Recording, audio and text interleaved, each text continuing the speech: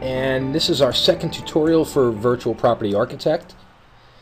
And what I'm about to show you is our smart tools. People often ask and they look at a, one of the designs built in Virtual Property Architect and they think it takes days to create something like the design we're looking at here, when in fact, due to our smart tools, it actually, a design like this may take, uh, you know, maybe a little more than an hour. And it's, it's this idea that we have these smart tools. Uh, let, let me give you a demonstration. I'm going to start a new design. Call it test. We're going to give it a zip code because I'm going to be putting it online.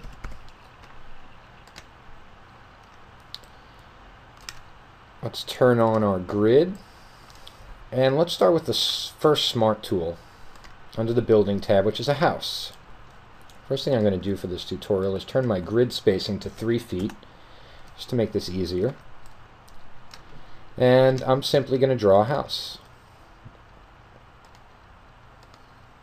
So I'm, I'm, I'm drawing a very simple shape for the most part.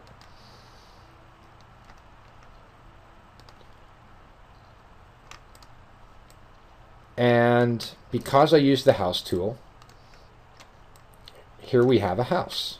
Now I can edit this house by double clicking and I'm going to change the roof types.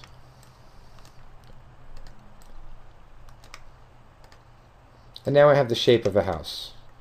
Granted, a very short house. So let's uh, let's bring the wall height to 18 feet. And what we've got here on the right is our properties panel.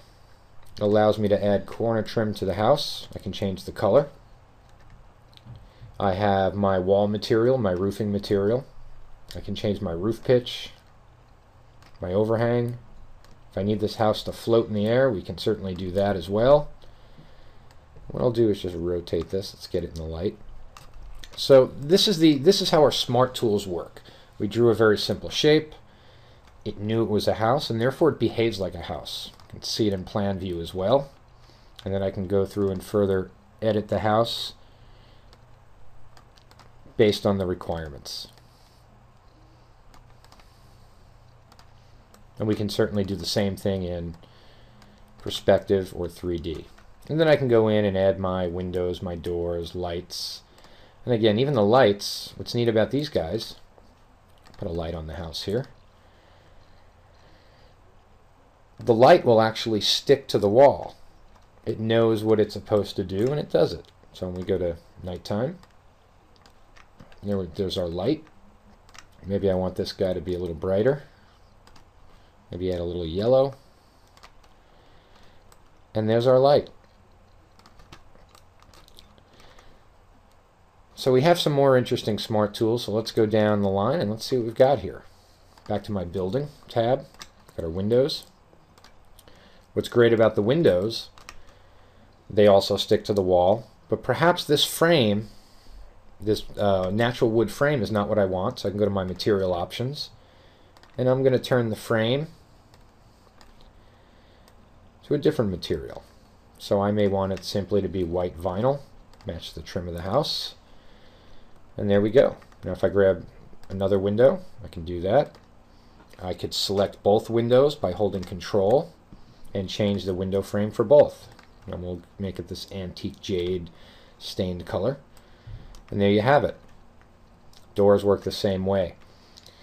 So let's play and let's put a small little deck over here so I'll turn my grid on.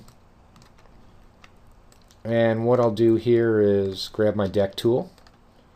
I have my snap to grid on. And voila, now we have a deck.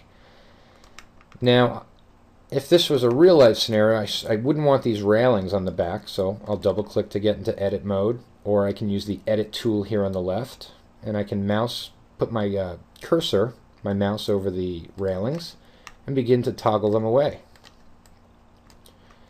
Now I could also put steps. So you'll see we have a width of 6 foot, a rise of 8, a go of 10, and an offset. And an offset is the position in which the steps lie in relationship to the rest of the deck. So there we have it. Just one click and now we have deck steps. But I'm probably going to want to elevate this to the second floor. And what we'll see is the deck stairs respond accordingly. So that's how we're able to get uh, these, these pretty dynamic designs done very quickly. I can then go in and decide I want to modify the rail, the frame, uh, beam angle, beam spacing. And right now I'm spacing them out so and now the legs come to the corner. And then again I can go in and change the material.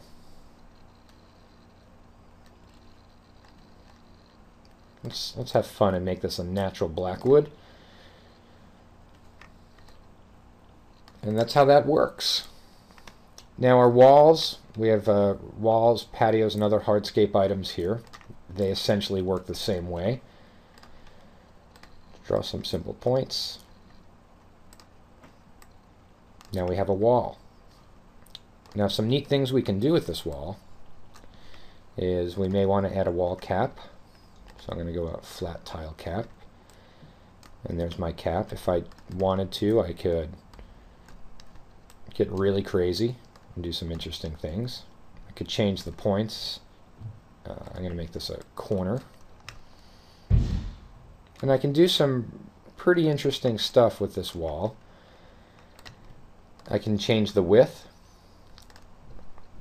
I can change the elevation, the height, do it all as one, or I can modify each individual point. Um, something that's really clever about our walls is let's just make a piece of topography here. Now, so what I've got is a piece of terrain. Now I may want to take my wall and say, and turn it into a retaining wall. So I can hit this uh, cut terrace option, and there we have it. It actually cuts the terrain. It's one click. All right, let's look at some other smart tools here. Patio tool.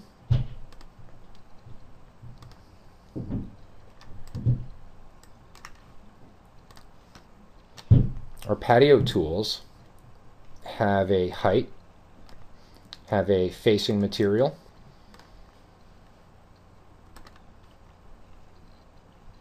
they can have a coping or an edging. Let's change the material so we can see what's happening.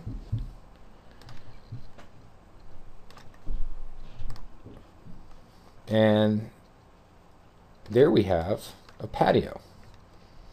And again, I can change the shapes. Maybe I want a curve here. And I can do this in real time.